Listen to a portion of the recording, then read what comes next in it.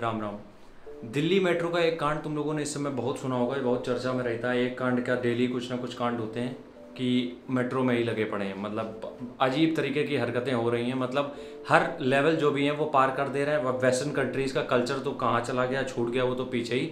और वो पता नहीं कौन से कल्चर में पहुँच गए मेट्रो में खुले आम सब कुछ चल रहा है झूमा चाटी चल रही, पता नहीं क्या क्या चल रहा है। सब पूरा प्यार मोहब्बत मेट्रो में लुटा जा रहा है। लेकिन अब लोग इसको ट्रोल कर रहे हैं कि वो कपड़े पहन के कैसे आए दिल्ली मेट्रो में या फिर लौंडे और ये सब कर रहे हैं मेट्रो में, ये सब चीज़ें हो रही हैं। ये क्यों हो रही हैं? पता है, क्योंकि ये रील्स पे वायरल हो गया इसलिए। हम यहाँ पे आज बात करेंगे, दिल्ली मेट्रो की बात नहीं करेंगे, वो सरकार की ज़िम्मेदारी है सी की ज़िम्मेदारी, उसमें मेरा कुछ नहीं है। मेरे हिसाब से ये इन चीज़ों पे रोक लगनी चाहिए, क्योंकि भले कि तुम कितनी भी तुम्हें आज़ादी है, इस चीज़ की आज़ादी नहीं हो सकती कि आप पब्लिक सेक्टर में ये सब चीज़ें करोगे, उठा के बाहर फेंक तो ज़्यादा बेहतर है। खैर, ज्ञान नहीं बांटेंगे, हम सीधे चलेंगे मेन टॉपिक के ऊपर। ये सिर्फ़ दिल्ली मेट्रो में हो रहा है क्या?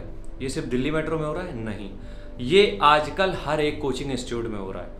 और मेरे आँखों देखी बातें हैं तो इस वजह से झूठ तो इसको नहीं कह सकते हैं। और जो लोग भी कोचिंग जाते हैं, उनको भी ये चीज़ें पता होंगी। खासकर आई आईआईटी जेईस की कोचिंग क्यों? क्योंकि वहाँ पे यंग एज लड़के जाते हैं यंग एज लड़कियाँ जाती हैं टीन जाते हैं तो उनका खून वैसे भी उबाले पे है।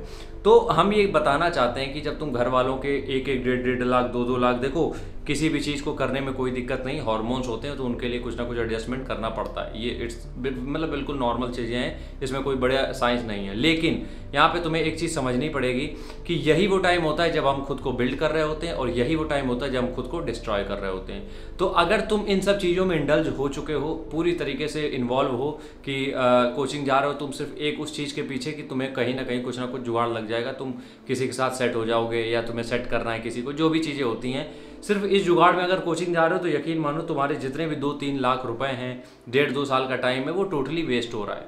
तो उसके एवरेज में ये देख लिया करो कि घर वाले क्या क्या चीज़ें दाव पे लगा के तुम्हें भेज रहे हैं। एक मेरे पास था कैंडिडेट उसके घर वालों ने गहने भेज दिए थे सब। शादी के, उनके मम्मी पापा के शादी के गहने थे, वो बेच दिए ज़मीनें बेच दी। क्यों?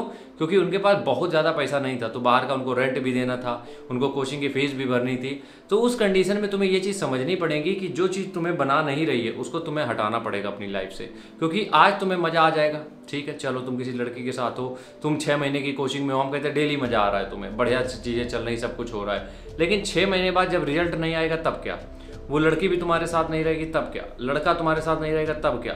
छः महीने बाद तुम दूसरा सेशन ले लोगे ड्रॉप ले लोगे, दोबारा तैयारी शुरू कर दोगे, तुम सब कुछ कर लोगे। लेकिन एक ही हरकत पे अगर तुमने कंट्रोल नहीं लाया और एक ही हरकत पे तुम कंट्रोल नहीं लगाए तो यकीन मानो तुम कहीं पे भी नहीं पहुँचने वाले हो, कभी भी। तुम दस साल तैयारी कर लोगे, यहीं पड़े रहोगे।